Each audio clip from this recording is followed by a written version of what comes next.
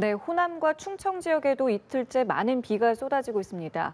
최고 250mm가 넘는 폭우가 쏟아지면서 피해가 잇따르고 있는데요. 네, 이번에는 호남 지역에 나가 있는 취재 기자와 연결해 보겠습니다. 김경인 기자, 그곳 상황 어떻습니까?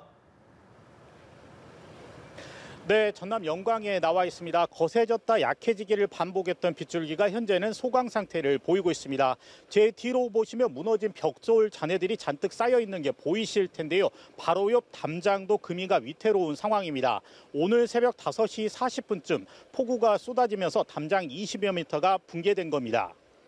호남 지역에는 이틀째 폭우가 쏟아지고 있는데요. 오전 10시 현재 누적강 수량은 전북 군산 산단 248.5mm, 부안 위도 225mm, 김제 신포 207mm 등을 기록했습니다.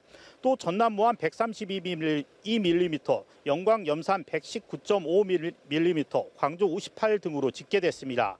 특히 전북에는 오전 6시 이후에는 물벼락 수준의 비가 쏟아지면서 70여 건이 넘는 신고가 접수됐습니다. 군산에는 시간당 최고 50mm가 넘는 집중호우가 쏟아졌습니다. 군산 서수면 서수면에서는 야산에서 산사태가 우려된다는 신고가 접수됐는데요. 이로 인해 주택에 살고 있던 주민이 새벽에 대피했습니다.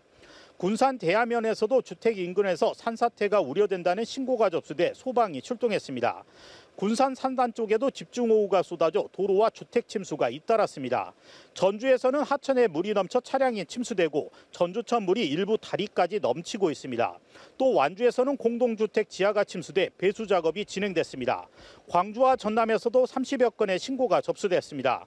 충청권에도 폭우가 쏟아졌는데요. 충남 서천 176mm, 부여 양화 172, 보령 148mm 등으로 집계됐습니다. 폭우로 인해 대전과 충남에서 는 70여 건의 신고가 접수됐습니다. 전북 임실 섬진강과 정읍 동진강 그리고 전남 영산강 황룡교에는 홍수주의보가 발령된 상황입니다. 기상청은 내일까지 전북에 최고 300mm, 광주와 전남에는 최고 200mm의 비가 더 내릴 것으로 내다봤습니다.